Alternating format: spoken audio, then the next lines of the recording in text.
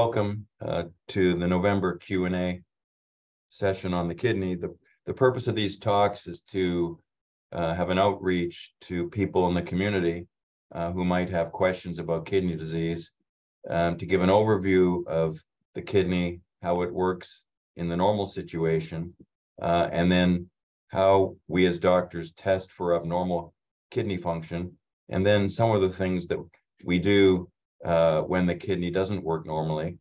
Uh, and so we'll do a little bit of that, review some of that, and then I'd be happy to take uh, questions at the end that uh, people might have. So welcome to tonight's session. Um, this first slide um, is just a cut through picture of the abdomen showing the two kidneys here. This is one kidney. This is the other kidney. On top of the kidneys is another organ called the adrenal glands. So this is the part of the body that makes cortisol. Um, the kidneys weigh about a third of a pound each, and you can't tell from this picture, but they're in the back uh, of the abdomen, not, not the front. This slide is a very important slide because it shows that the kidney function does not uh, stay constant as you get older and older. It's like your eyesight gets worse, uh, your hearing gets worse. The same thing occurs with kidney function. Now, the kidney does many, many things. And so the function that we're talking about here uh, is actually um, the filtration ability of the kidney. The kidney filters, it does many, many different things, but one of its important functions is to filter blood. And the amount of fluid that's filtered every day is about 120 to 140 liters a day. That's approximately 72 liter Coke bottles. Each, imagine what a two liter Coke bottle looks like. That's two liters. If we filter 140 liters a day, that's 70 of those. That's how much fluid actually comes through a normal kidney every day. Now, most of that fluid is absorbed, so we only urinate out about a liter a day. Um, but that ability to filter the blood declines with age normally. And so you can see in a 70 year old, uh, there's 80% of the kidney function is left. The patient may only be filtering 100 or 110 liters a day. Now, the important point is that when that 70 year old goes to the doctor, most doctors don't know that the kidney function normally declines. And so when they see that the function is 80% of normal, they will call that kidney disease even though it's not. So when you go to the doctor, you always have, if you're in your 70s, 80s, or 90s, you always have to make sure that your kidney function is what is expected for your age. And if it is, you have nothing wrong with your kidneys. That's just normality. You would only be diagnosed as having a kidney problem if the function, and specifically the filtration function, is less than it is for your age. And men and women decline at different rates. The men are in uh, red here, the women are in, in uh, blue. And I'll talk about how the doctor assesses your kidney function and specifically the filtration ability of your kidney in a few slides.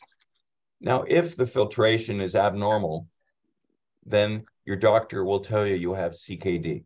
And CKD stands for chronic kidney disease.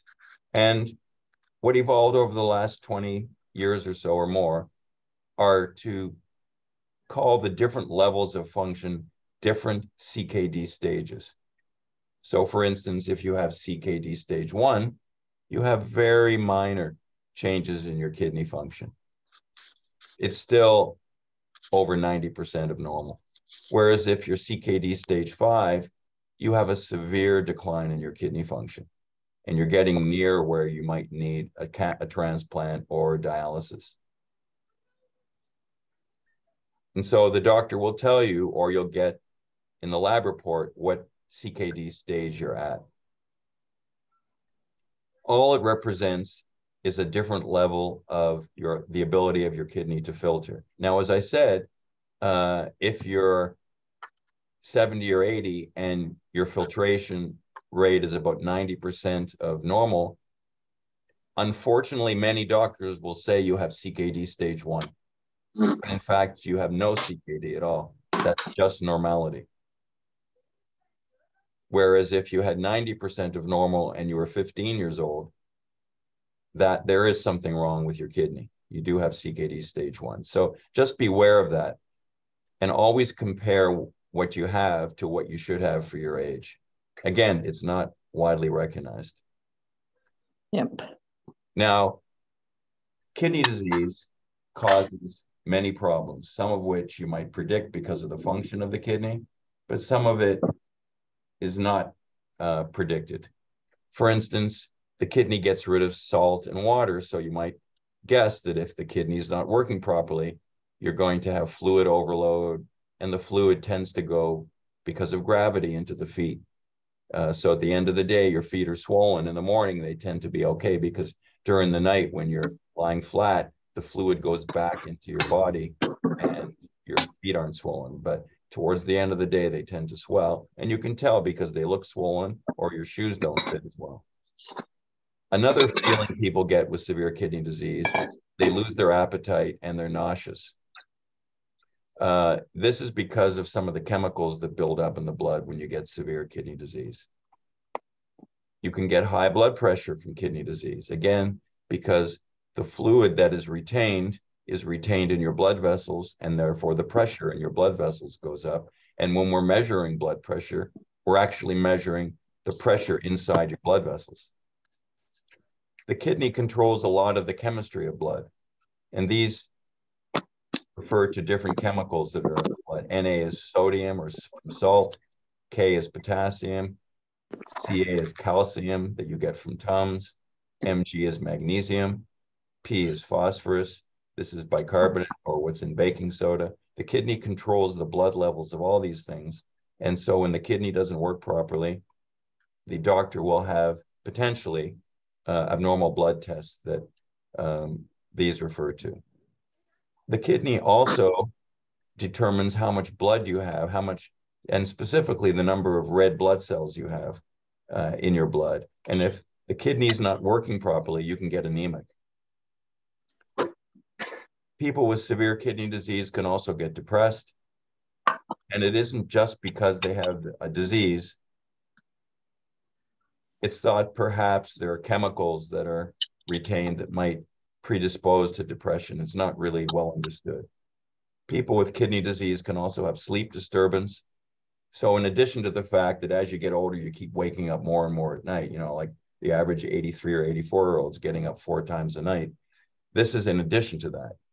Um, and you may actually sleep during the day more often than you would for your age. And not only does the patient sometimes feel nauseous and have a lack of appetite. But when they do eat, the food tastes abnormal. It just doesn't taste the same. It, and oftentimes it's bland. Um, and that's also an, a, a, cause of why these patient, patients don't eat as well. Not only do they have a lack of appetite, but the food doesn't taste good. So, how does the doctor test for kidney disease? We have a measurement in the in that's part of the routine uh, blood tests that we call creatinine, and this is in all routine blood work. There's thousands of creatinines measured every day at UCLA. Uh, the normal level is around one. Creatinine is a substance that's made in your muscles. So when you eat meat or fish, which which is really a muscle, when you're eating meat, you're eating a muscle. When you eat fish, you're eating a muscle. There's creatinine in those foods. So your creatinine comes from your own muscles also, and it's made roughly the same amount is made from your muscles every day, unless you lose muscles because you're not going to the gym or you're um, losing your muscle bulk for whatever reason. And also the converse, more will be made if you bulk up. The reason we use this for a kidney test is because the kidney is responsible for getting rid of this. So the muscle makes it, and the kidney gets rid of it. And the normal level's around one. If your kidney function declines to half of normal, the creatinine will double. So that's sort of the concept. And we can tell that you have half of your kidney function because your creatinine went from one to two. If your creatinine went from one to four, you have a quarter of your kidney function. Now, again, I'm referring to how much water goes through the kidneys every day. So as I was saying before, normally you have about 140 liters going through, which would be reflected by a creatinine of one. If your creatinine in your blood goes to two, you have about 70 liters going through. If your creatinine goes to four, you have a quarter of 140, et cetera, et cetera. When the kidney function gets down to about 15% of normal, and you can do the math, you can take 15% of 140, then you start needing uh, renal replacement therapy like dialysis or a transplant. So this is a very common test and it's nice. We don't have a, we don't have to measure how much fluid is coming through the kidney. We just measure this number in the blood test. Now, in addition to this number, you'll also see something else that the doctor might have told you about, or you'll see it in your electronic medical record called EGFR. E, capital G, capital F, capital R. And E refers to estimated. And I'll talk to you about why it's estimated in a minute. And GFR is an acronym for glomerular filtration rate. Glomerular filtration rate is just a fancy way of saying what we just talked about, how much fluid is coming through the kidneys. So uh, your normal glomerular filtration rate would be about 120 or 140 when you're 40 years old or 50 years old. The reason we have an E in front of it is because the doctors do not measure it. What they do is measure the creatinine. Then they put the creatinine into a mathematical formula, and the formula predicts what the glomerular filtration rate would be or how much fluid your kidneys are filtering every day. But they're not, it's not being measured, which is why it's called estimated. And it's important to know because many times we're asked, doctor, my EGFR is 60. Um, you know, am I really sick? And I, my first response is, remember, it's just an estimated number. It comes back as 60, but it might be 80. So there's a big error associated with it. And to know what the true GFR is, and again, the GFR represents how much fluid is coming through your kidneys every day. To know what the true level is, we can't get it from measuring the creatinine. We have to do a more elaborate test, which really is not done anymore. Um, although there are newer things coming down the pipe, we're working on a new research project where we'll be able to actually measure the GFR. And my hope is that the, the term EGFR will end up in the dustbin. Um, it won't be used anymore. But until we have an FDA approved measurement for GFR, we're going to be left with this EGFR um, for probably a couple more years. But eventually, we'll get back to a measured GFR, you know, exactly what your GFR is. So again, creatinine is a indirect reflection of what your GFR is.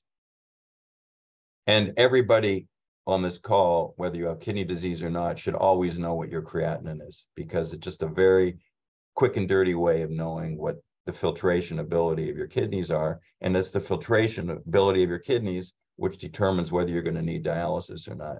There's many other kidney functions that can decline, but they're not determinative of whether you need dialysis. It's the filtration ability, which is a which is something you need to focus on.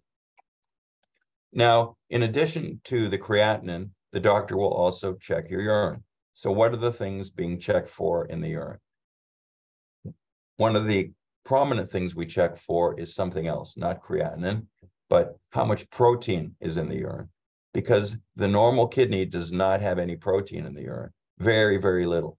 And so, to the extent that the amount of protein increases and increases, you have more and more abnormalities with your kidneys. This does not reflect the filtration ability. It's a totally different parameter that we're assessing, but it does also reflect kidney disease. Now, it's not determinative of whether you need dialysis or not. You can have a ton of protein in your urine. It has nothing to do with needing dialysis. That's the filtration ability that we discussed. However, this does reflect abnormal kidney, uh, not function, but abnormal parameter in the kidney because the kidney normally keeps the protein from getting in the urine. So it means there's some disease process going on. And we can assess this indirectly or not indirectly, directly, but not quantitatively by put using these dipsticks. And these dipsticks have different bars on them. And if there's more protein, you get a different bar turning color that you can read off the bottle. And if there's no protein, then you don't get the color changing. And so it gives you a guide as to whether there's a lot of protein or a little bit of protein or no protein. It doesn't tell you how much. To know how much protein is in the urine, we have to measure it directly. We have to send the urine to the lab. So if in the doctor's office we get that there's there's protein in your urine which is significant, the doctor will then take a sample of that, send it to the lab, and find out exactly how much protein is in the urine. The reason for showing this picture is protein in the urine is a cause for why there's bubbles in the urine. And so if you have a ton of bubbles and you're not peeing from too high above the water, which is the most common reason why there's bubbles, assuming it's not air from peeing way up above the water. Um, if you're close to the water and you get this, you have to start thinking you might have protein in your urine. Now, something else which is never in the urine is blood. The kidney, even though it filters your blood, has mechanisms in the filters in the kidney that prevent blood from coming out in the toilet. However, if you have diseases of the kidney, we can start seeing blood in the urine. Now, again, this is another function of the kidney that has nothing to do with needing dialysis. That's again the filtration ability. However, if we see blood in the urine, just like if we see too much protein in the urine, it tells us that the kidney has something wrong with it and we have to work up the patient further.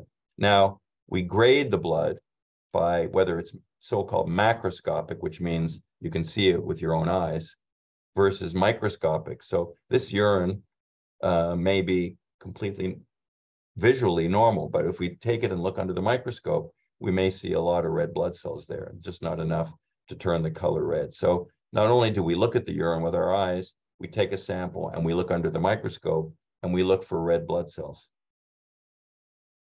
Now, another thing we do with the urine is look for bacteria because especially in sexually active young women in their 20s um, or 30s, they're prone to get urinary tract infections.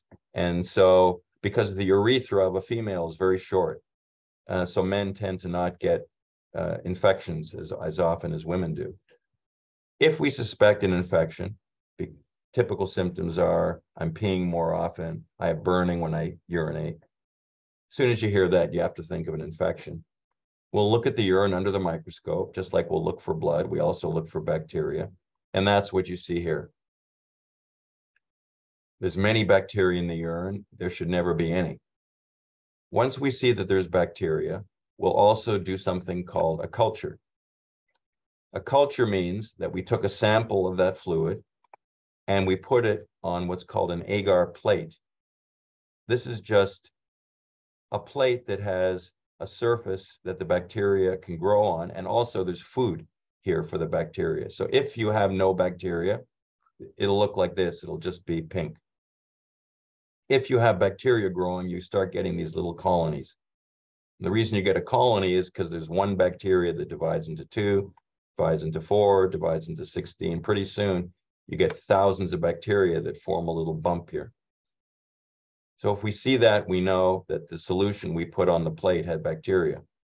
The second thing we do when we culture the urine is we have different antibiotics that we put here.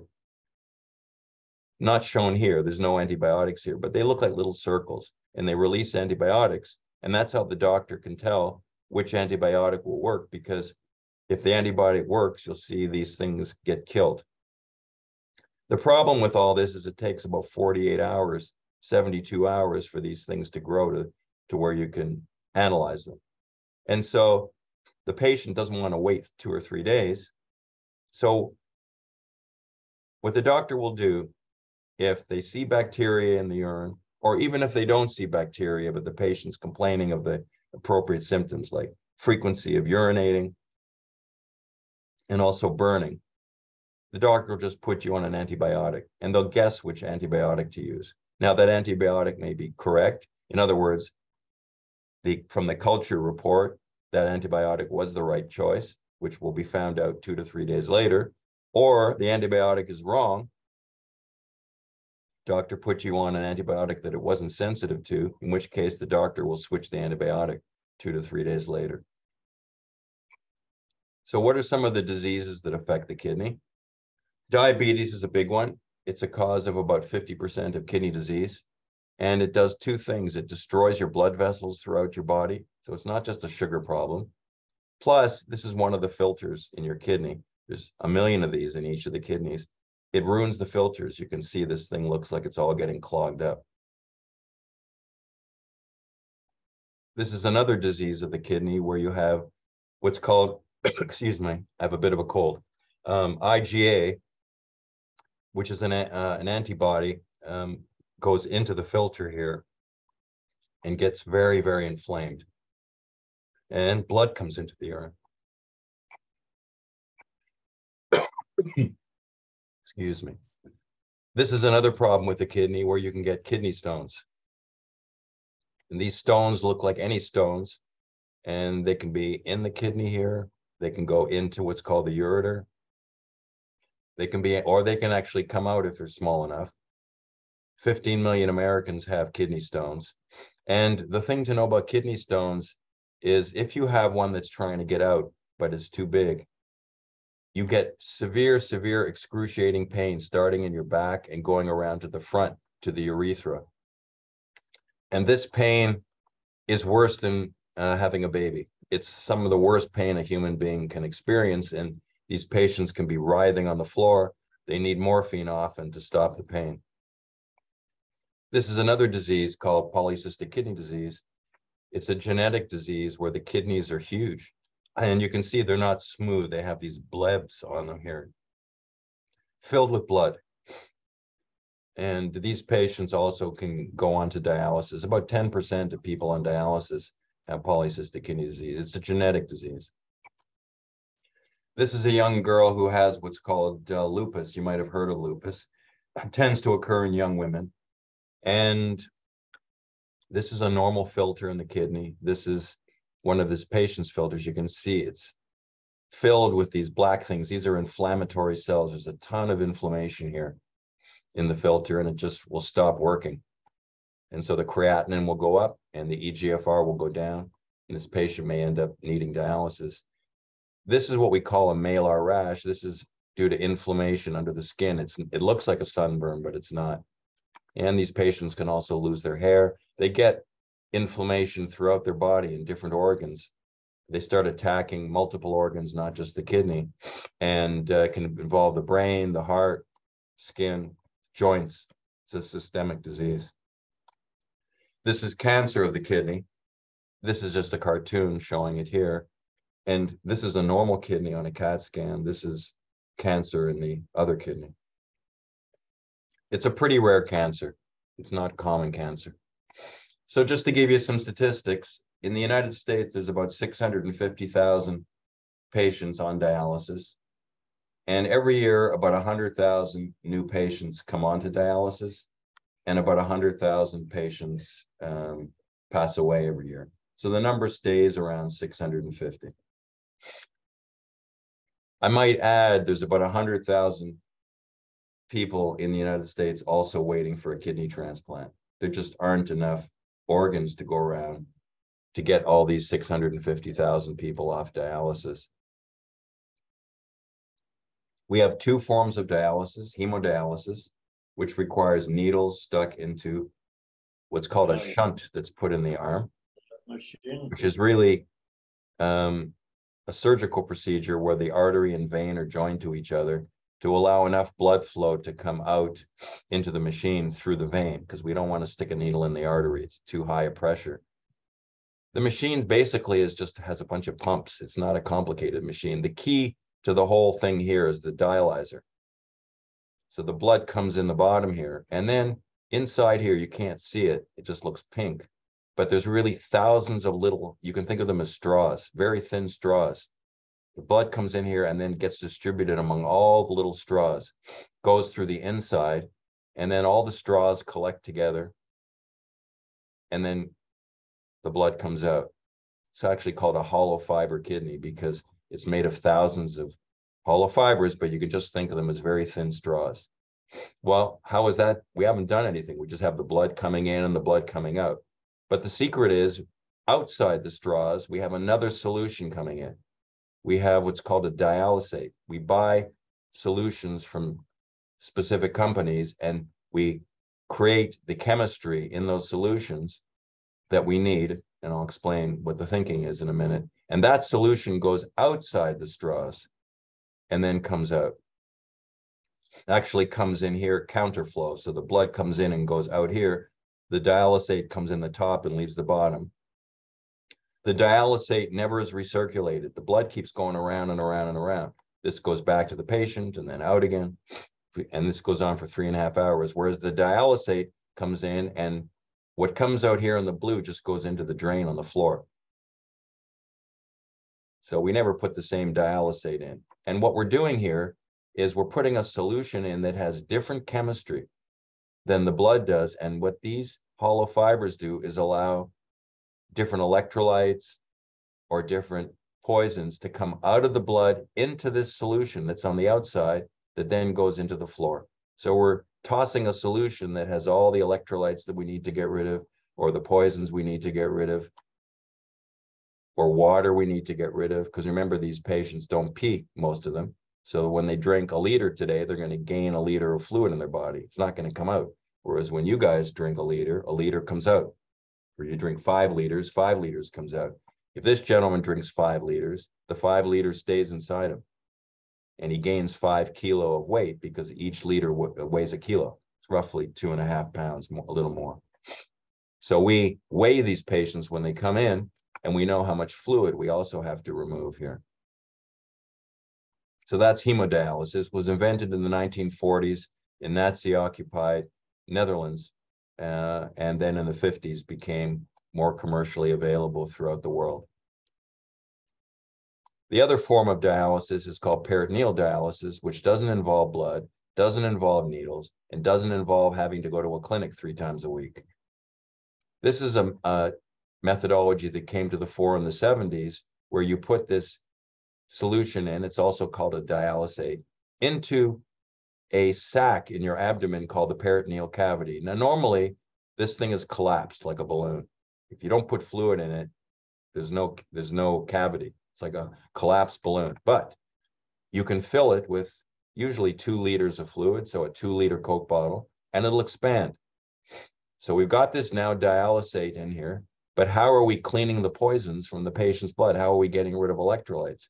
Well, it turns out that this cavity is lined by your cells, and the poisons actually can cross from your blood, which is outside these cells, into this into the solution if you wait long enough.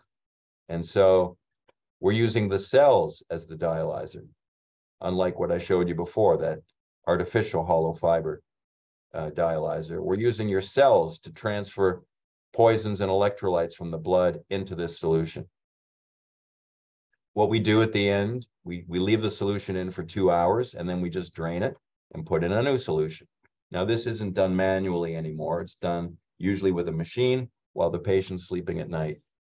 And uh, we usually do five or maybe six two hour exchanges. And then in the morning, the patient just uncaps the catheter here and goes about their business.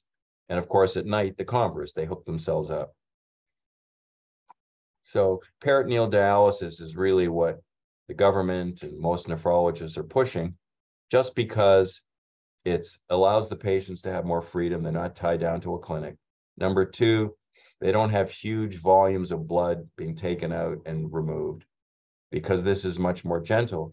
This is done over, you know, this is done every day for for seven days, whereas the hemodialysis you do only three times a week, so it's much more aggressive. Um, whereas this is more gentle, but it's done more frequently. So this is what we try to get patients to do if they can. And then there's the kidney transplant. The kidney transplant that you see here, um, we're often asked, you know, what happens to the other kidneys? Well, the kidneys that aren't working, we leave in just because sometimes they're working a little bit and we want to collect every little bit of urine we can to the extent that the kidneys are functioning. The transplanted kidney can fail a little bit and the patients are still okay. It's the total function we look at, the total filtration ability. So we never remove the native kidneys. And then another key point is not only may the kidneys provide some filtration that are left there, but the kidneys also make a very important hormone. In fact, two very important hormones. One is called erythropoietin, and that's what tells the bone marrow to make your red blood cells. Remember, I said before, when your kidneys don't work, you can get anemic. And that's because they don't make the erythropoietin hormone. Now, the kidneys don't make the red blood cells, it's the bone marrow that does. But the bone, but the erythropoietin from the kidney gets into the blood and tells the, your bones to make blood. And so that's that would be lost if we took the kidneys out. The other important hormone the kidney makes is the active form of vitamin D. When you go to the drugstore and buy vitamin D, that's not the active form. That's called 25 hydroxyl vitamin D. That chemical that you buy in the form of a pill or a vitamin has to be turned by the kidney into the active form. And so if we take the kidneys out, they can't make the active form and your vitamin D level drops and your bones can get into trouble. So for that reason, we leave the kidneys in. And then there's newer things occurring on the horizon, like xenotransplants, where, excuse me, where we're looking to use pig kidneys in the future uh, rather than human kidneys that won't get rejected. And that research is just starting.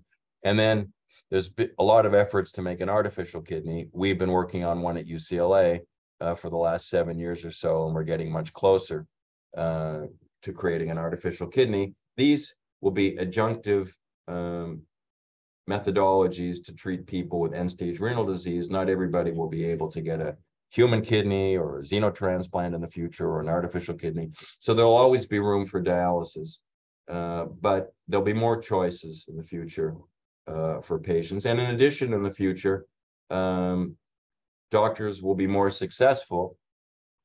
Just go back to this slide here. Uh, oh, excuse me.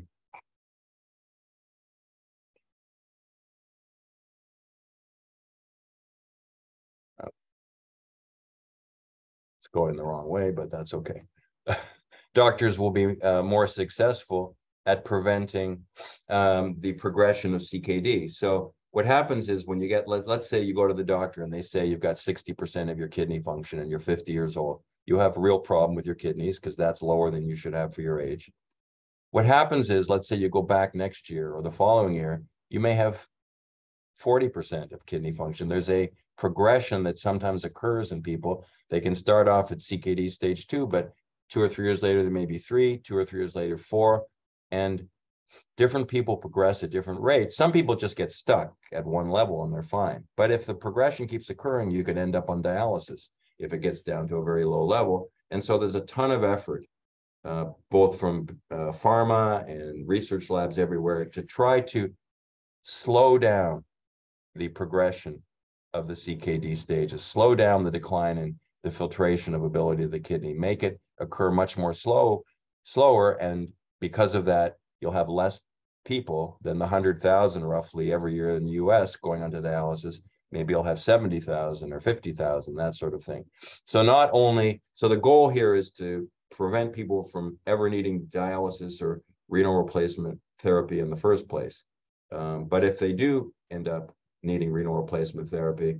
In the future, people will have uh, more choices, as I was alluding to. So I think I'll stop there, and I'd be glad to take uh, any questions uh, anyone might have regarding their own problems or kidney abnormalities in general. Does anyone have any anything they want to talk about? If you if you feel uncomfortable asking about personal medical things in public like this, um, Leslie has your email and you have hers, Leslie, my assistant, please feel free um, to uh, write her by email afterwards and we can set up a call uh, where we can do it more privately uh, if, if you wish to. I'd be glad to help all of you in any way I can. Uh, hi, doctor. My name is Cliff. Um, I have, uh, I spoke, I, I watched this uh, back on October 27th and I have one kidney. Uh, one was removed because of cancer of the ureter. Um, you made a comment, I believe you made a comment about the drinking water. And yes. I've heard so much about uh, trying to drink more water than I don't want to say normal, but trying to drink an awful lot of water, especially uh, those of us with just one kidney. Is that true? There's a lot of voodoo and a lot of confusing information, and most doctors don't know what the real answer is, but they tend via sort of a knee-jerk answer to say just drink a lot of water. Very confusing for the patients because they don't know how much to drink or how little to drink. The answer is you you need to be above a certain amount. And above that, your kidney's just going to get rid of it. So you're and you're not going to by drinking more change the filtration ability of the kidney very much. The kidney will not if let, let let's say let's say the kidney's filtering 100 liters a day and you drink more water. You're not going to go to 120 or 130 liters a day. You're not so you're not going to enhance your kidney's filtering ability significantly. That's the first thing. Number two, you're not going to, by doing that, prevent the kidney from declining in its function. No one's really ever shown that, other than in specific situations, like if you have calcium stones and you have a ton of calcium in your urine, drinking more water will dilute the calcium and prevent you from having a stone, which can obstruct the kidney, that kind of thing. But in general, if you just have CKD, and by definition, you do if you have one kidney. Now, remember, by the way, I think I mentioned it last time, when you remove a kidney, immediately you go to 50%, right? Because you had 100% before. That's just logic. Right. So if you were filtering, let's say 120 before, immediately you go to 60. But nature is clever. It causes the remaining kidney to actually grow and get bigger and filter more. And you can actually get back to 80 or 90% of your original filtration with one kidney, even though the, just because that remaining kidney um, is able to compensate. Now, not everybody compensates equally. It depends if you have how old you are, if you have any other underlying abnormalities like diabetes or high blood pressure, there's things that prevent the kidney from doing that. But in general, if you have nothing else going on and you're rather young when you had that kidney taken out, um, your other kidney can grow to quite an extent and compensate. So you don't have 50% of normal, you may have 80% of normal or 85% of normal. Um, Could your creatinine actually get back down to one or one? Yeah, of course, that's, 1.5? that, that's what happens. If you do the experiment. So let's say I, I take out my kidney now and my creatinine is one. I take my kidney out tomorrow, my creatinine will immediately go to about two. And now I follow that creatinine uh, for the next year, year and a half, it will slowly go down as the kidney is filtering more. Because remember, it's an indirect reflection of the filtration ability. So it, as the filtration increase, it's inverse. So as the filtration increases, the kid, the creatinine goes down. Again, because you're able to excrete more creatinine. Um, so the blood level will drop. It may not get back to one, but it will get down lower than it was on the first day I had my kidney taken out. Right. But and Thank you. getting back to your question about water, um, what is important is not to go below a certain level. If you go below a certain level, um, some people with kidney problems can get into trouble. The normal kidney can get down to very low levels. You can cut your water intake down to like one cup a day, and your kidney will cut back its excretion to one cup a day, and nothing will happen to you.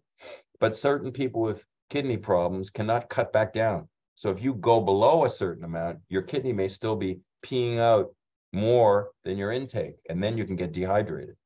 But as long as you're above that level, you have no problems at all. And so the bottom line is you should drink about a liter to two liters a day. I would not do more than that. All you're doing is making yourself urinate more. Um, all the water you're taking in is just going into the toilet. You're not helping the function of your kidney unless you have calcium issues, as I mentioned, this this sort of thing. But you certainly don't need to be drinking four or five liters a day. Now, I will add one little proviso. There was a study maybe 10 or 15 years ago where they just, and it wasn't a great study because it was retrospective, which means they looked at data that occurred in the past. Those studies are called retrospective. They're not as good as studies where you make a prediction and then follow patients into the future and see what happens. Studies where you look at data that occurred already are statistically not as um, precise. But be that as it may, they found that people that drink a ton of water a day, I think especially in the men, I may be wrong, but it was, I think, I think it was men, uh, had less incidence of heart attacks, had nothing to do with the kidneys. Um, whether it's truth or not, I don't know. I don't know of anyone who's repeated that work. Uh, but in the kidney world, you're going to get most nephrologists, most primary care doctors telling you to drink a lot, drink a lot, drink a lot. And it's, there's no data that shows it makes any difference. Wow, thank you. There was a good, I think, I, someone mentioned to me there was a great article on water intake in the New York Times. I don't read the New York Times, but um, I don't know if you read it, but it was like in the last two weeks, someone mentioned to me. Oh, Uh, you might want to look that up if you can. I will. I, I'd be interested if you do. Uh, write Leslie, we can talk about it. I'd like to know what you think about it. Okay, But it, it, it was, the, the person told me that it was one of the best articles ever written for the lay person on how much water you should drink. And again, it's, you know, it's a very controversial area. Um, doctor, I have a question if Oh, you're, yes. Hi Cindy, yeah. hi, thank you, hi. Uh, you touched on a little bit on, uh, sorry, polycystic kidney disease on the, uh, blood in the urine. And my question is, every time I exercise, I play a competitive sport. And my first, when I first urine after I'm done exercising, it is pink or sometimes looks like, uh, like a soda. Am I, should I be concerned about that? Do you have polycystic kidney? Ye- yes, I do. Oh, You do, okay. Yes. Uh, do you, do you, what's your creatinine? I don't know, uh, well, I haven't looked. My GFR is, uh, like, um, about seventy-two. Okay, again, that's an estimate. It could be ninety. Yes, You know, you have to realize it. And do you have, do you mind if I ask how old you are? yeah, I'm sixty-two. Okay, because typically people are pretty much okay. I mean, this again is an average till their forties.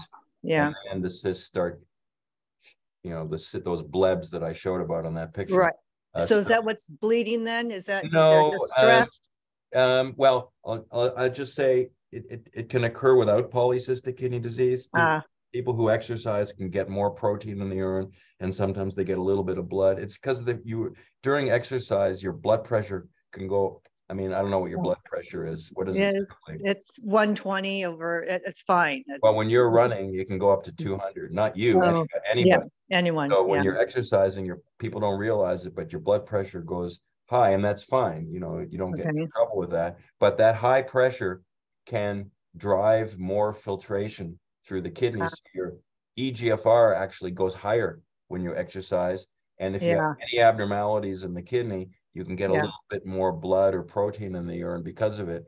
But exercise induced uh, blood in the urine or protein in the urine in general is not anything to worry about okay, unless it changes or gets excessive. The most important thing is that you keep your creatinine, uh, whatever it is, 1.2, 1.3, okay, uh, and your I'll have to look at it. EGFR at, you know, 70 for the rest of your life, and you'll live till 120. okay, oh boy. All right, thank you very much. Does anybody else have any questions or either about your own condition or things I wasn't clear about, or in general about the kidney or about? Doctor, I have a question. Sure. Hi, Mike. So I'm on uh, PD right now. The last checkup, they um, changed my um, uh, settings for the for the dialysis during the night, but it seems that uh, it's taking out too much water. Well, that's interesting. Most people have the opposite problem. Yeah, it's. Uh, Can I, can I ask how old you are? I'm 61 And how long have you been on dialysis? since uh, February. And what do you, what's your routine? Five exchanges a night, six or four, I How- believe It's four. Four two-hour exchanges? Yes. So for everybody who's not familiar, what this means is that when Michael's sleeping, hopefully sleeping, um, he- there's a little machine uh, that has the solution on it. And that machine puts in two liters, lets it stay in there for what, two hours is the normal? Approximately, yes. Yeah, and then we'll drain that solution, which contains the electrolytes and poisons that we want to get rid of and put a fresh solution in, and it'll do that four times. That's what we mean by four exchanges. And one thing we look at is how much fluid is being removed, because again, do you, can I ask if you, if you have any of your own urine or you don't? Not while I'm on, I'm on it for five days. the two days that I'm off, Saturday and Sunday, I do produce urine. And I do so during the week as well. How just, much? Do you know how many cups? Um, Is it normal or significantly decreased? It's a it's significantly decreased, although I do go maybe three times a day, but it's Okay, Not a lot of two, volume. yeah, maybe it's 150, 200 milliliters. Yeah.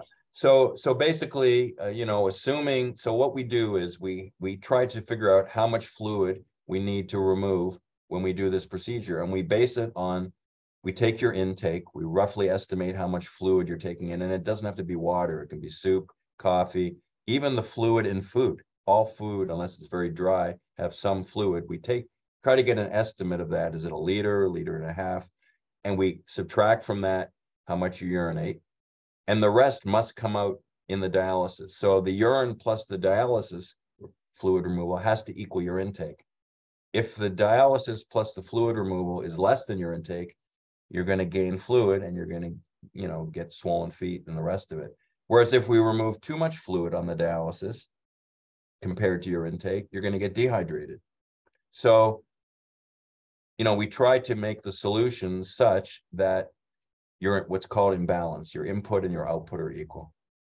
You're taking in roughly the amount of fluid that we're getting rid of. And we know that by the weight that we measure. When you measure your weight every morning after you go to the bathroom, you're really assessing your fluid balance. It's not really from your food. The weight Mhm. from the food takes much longer to change. The daily changes in weight is basically fluid. Um, so if your weight goes up from day to from one day to the next, you gain fluid essentially. Um, whereas if your weight drops, you've lost. So if your weight is the same every day, we know even without measuring anything that your input and output of fluid must be the same. Mhm. So that's my next question. What's your weight doing? It's uh, it's relatively stable within maybe three pound two? less. Okay, but is it fluctuating up and down like the weather or is it trending in one direction? No, it's it's pretty much staying the same. uh, Okay, uh, one so if one it's, so if it's staying the same, it means that your input and output are the same. So no matter what you're measuring where you say it's more than it should be, um, if your weight is staying the same, then your intake and output are the same. I would not be concerned. However, if you tell me that your output is increasing and you don't like it, and then at the same time you tell me every couple of days you're measuring your weight and it's dropping, dropping, dropping, dropping, yes, then I would say we have two choices. We either have to decrease the amount of fluid we're removing, or we have to Mhm. make you drink more. But you know, you can't be have that imbalance. So the weight is essential when you're on PD or dialysis. If your weight's staying the same, you're fine. So how much fluid comes off each time you do it? These are two liter bags? Three Or liters. no, it's it's it must be a six liter bag. Yeah, six. Yeah, three liter each. Yeah. Yeah, three liter. Oh, yeah. So so how much fluid are you? So let's say you put in two liters, right, for one exchange. How much Mhm. fluid is coming off from a two liter? What do you take off? Uh, A hundred, Well, um, two hundred? I know they. I know all the. I don't know the exact parameters of the program, the it used to be where they would leave some in or or not um, drain all the bag itself out. But now with the new program, both bags are empty, completely empty. And then what's other strange thing is that the last dwell, I mean uh, the last drain, um, even though it's programmed for whatever amount, I still have to manual drain, and it's like increased. Before it was like maybe 600, 500, something like that, but now it's like 2,300 milliliters taken out at the manual drain after the program drain. Yeah, but how much did the program take off? See, see, typically if you put two, two thousand milliliters in or two liters, which is roughly what we put in, roughly Mhm. equal to a Coke bottle, Mhm. you get out twenty-one hundred, you know, you remove a hundred, you remove about a, a cup or two cups or three cups at the most. That's what each of those two liter exchanges do. You need to find out from your doctor or the nurse, you need to know how much fluid is each two liters that you're putting in removing. Okay. And it's typically hundred or hundred and fifty. In other words, if you put in a two liter solution, it would weigh two kilo on the scale Mhm. when you drained it, if it removed fluid from your body, it would typically weigh 2.1 kilo or 2.2 kilo. That's roughly two cups of fluid. That's what you need to know. Hmm. And that's how much fluid total you're, you're removing. You don't include what you put in, you include the net. So if you put in two liters and you removed two point two liters, that means you removed 0.2 liters. Hmm. And that's what you need to know to, to address how much fluid is being removed. Uh, well, one of the things that's developed is uh, in the morning, um, I'm getting uh, cramps in my hands, spasms. Well, cramps on, in dialysis patients can be for many, many reasons. Mhm. One is too much fluid is being re- removed, which typically does not occur in peritoneal dialysis. It occurs in hemodialysis. Um, and it would be unusual for that. Another reason is electrolyte shifts. Common one is calcium. Hmm. Um, I don't know if you take Tums or calcium pills, No, but you could take a, you, do you know what Tums are? yes, Okay, you could take a half a Tums at night and see if that makes a difference, or take one Tum you Mhm. know, for a few nights in a row and see if they go away. If it goes Mhm. away, you know it's due to calcium shifting. It has nothing to do with fluid removal. Mhm. I heard uh, pickle juice. Say again, I'm sorry? I heard pickle juice. No, no, no, no. That's, it's, no, No, no, just, just take something real. Okay, Um, just try a Tums. If you, if it's predictable that you get the cramps, um, you know, night after night, try taking a Tums, uh, one Tums. The Okay. larger one, the larger one, um, larger strength, uh, before you go to bed. Try it for two, three nights in a row and then see if it goes away. Do it, you know, repeat for two or three or four nights. So you do a good experiment and see if it really works. okay, And if it goes away, and then when you stop the Tums, it comes back, well, that's your answer. It's calcium. okay. Thank you. Mhm. Anybody else have any worries or questions or things they want to discuss? Okay, well, thank you all for joining tonight. If, if anything occurs to you afterwards, or you'd like to discuss some stuff in private, please reach out to Leslie and I'd be glad to set up a time to go over I want, I have a question. I'm sorry, Yeah, I was sure. on mute. Sure. Yeah, okay. Bertha, is that your name? Bertha? Yes, Bertha. Hi, Bertha. But hi, doctor. Um, in September, I went to um, to see my doctor, and he gave me a blood test.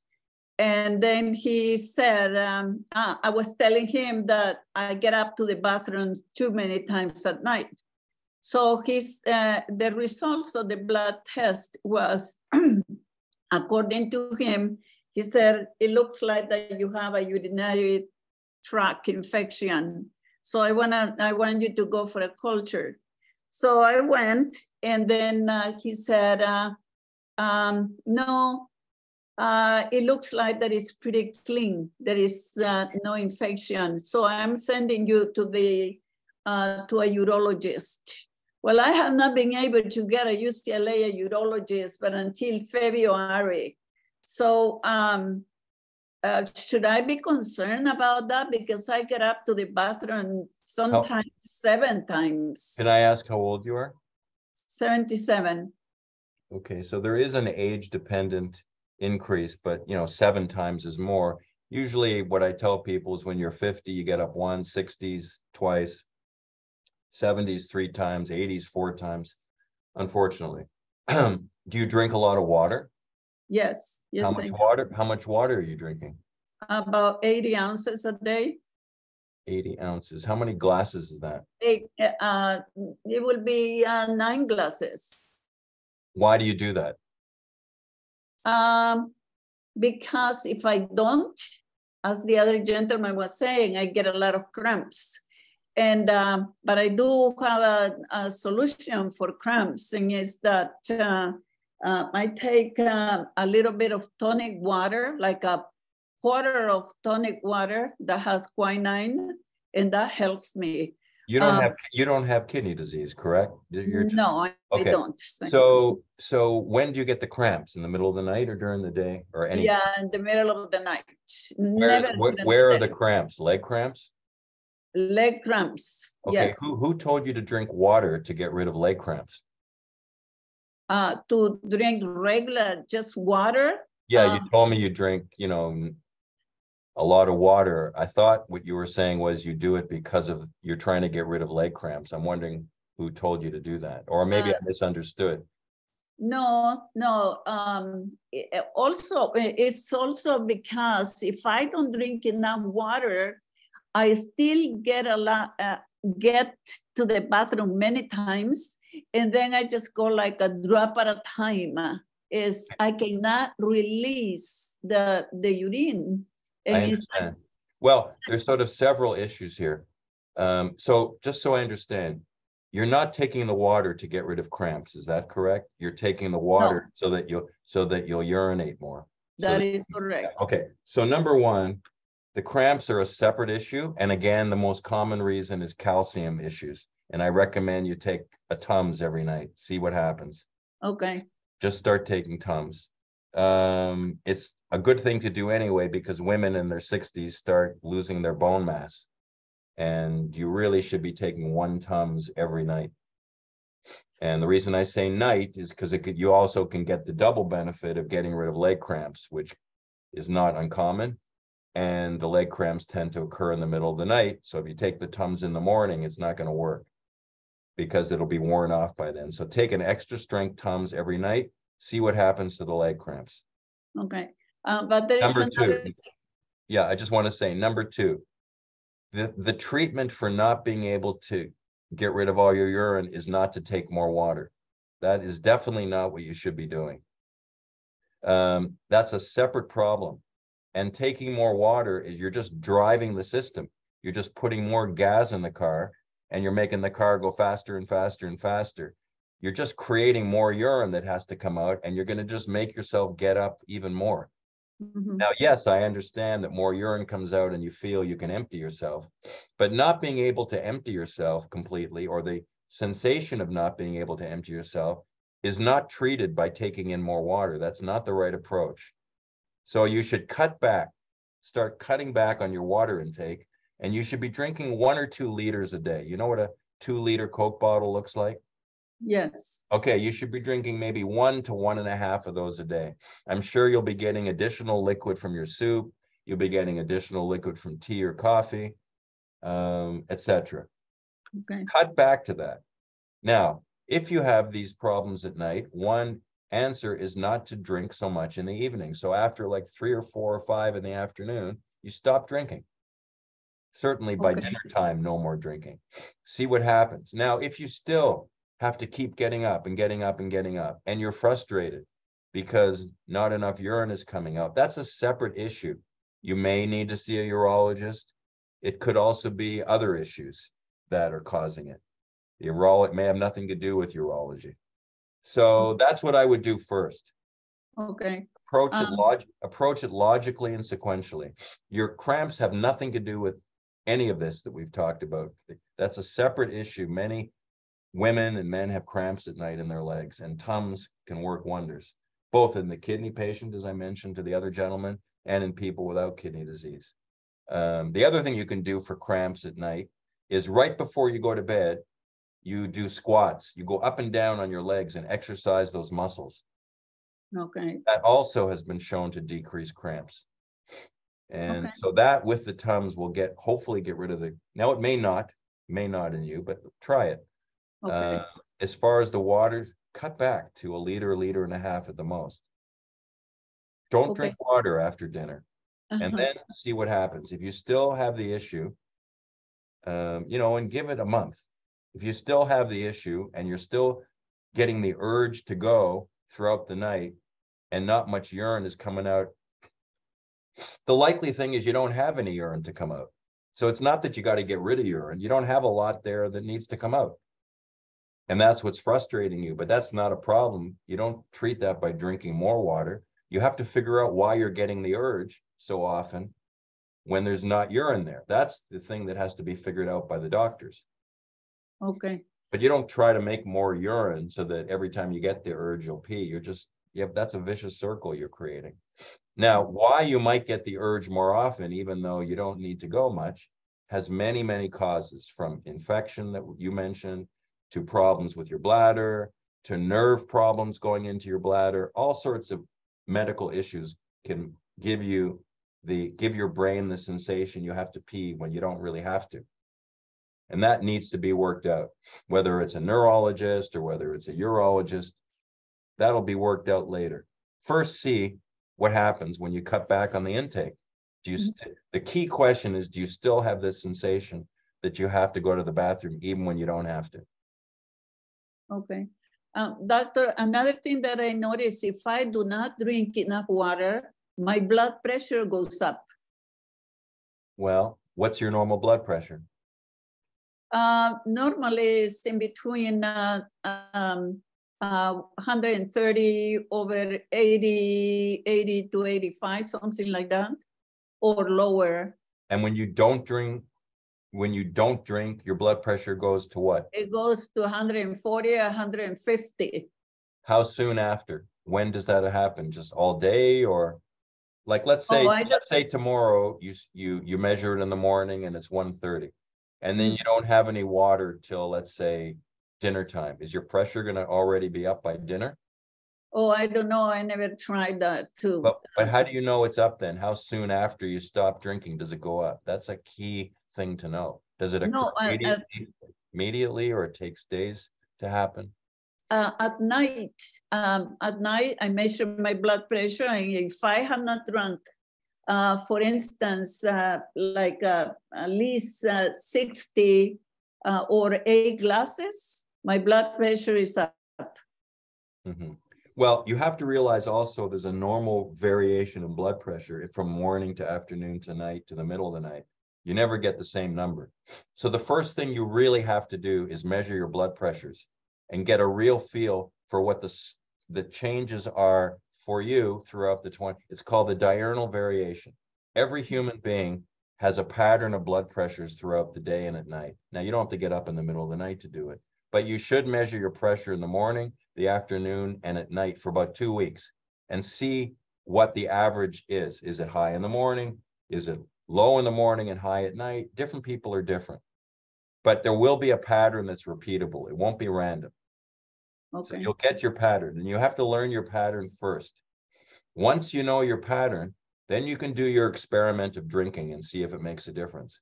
But right now, you need to know if what you're talking about is just not the normal diurnal variation of blood pressure. Because it's not the same in the morning and at night in anybody. In fact, Right. it starts to drop uh, in many people at night and starts climbing again three or four in the morning. Such that in the morning, it's, you know, four or five in the morning, it's the highest. Then it starts to come down again in the afternoon. Other people are different. And it Okay. depends if you have hot, but you need to know what your normal pattern is before you start trying to change it, because what you're talking about may just be totally normality. Now, there are specific conditions where if you take in more fluid, your blood pressure can actually go down.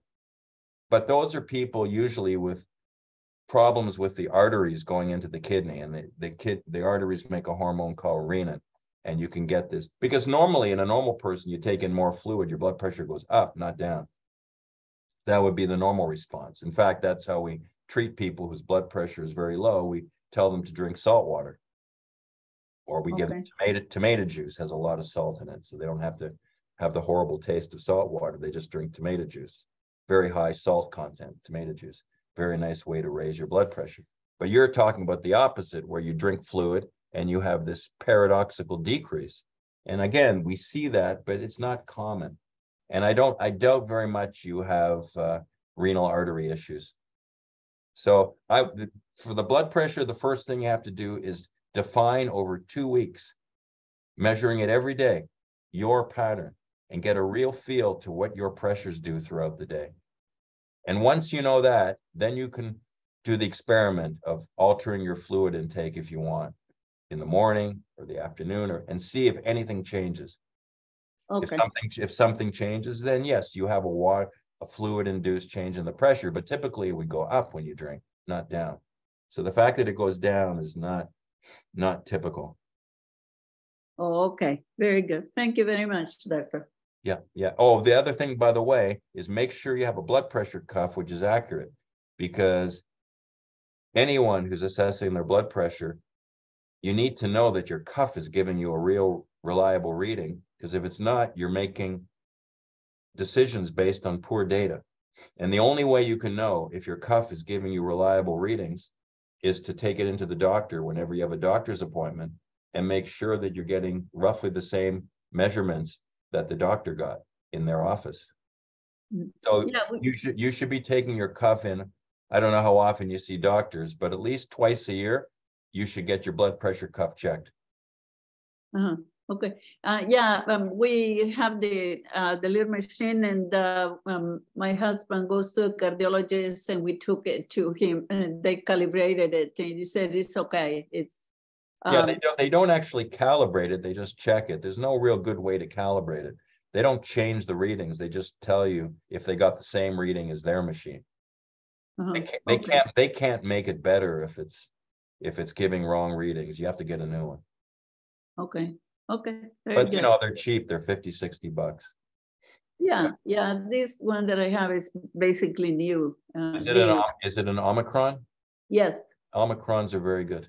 Yeah, it's Omron. Yeah, very good. Okay. All right. Thank you so much, doctor. No problem. Good luck with everything. Thank you. Appreciate it. Anyone else have any questions? Okay, well, I think um, we'll call it a night. And again, thank you for joining the uh, the Q and A and uh, reach out to Leslie if you have any further questions or worries. Be glad to get back to you and discuss it privately. Thank you for your time, Doctor. Thank you, Thank you. doctor. Thank you so much. Bye-bye, everybody. Bye-bye.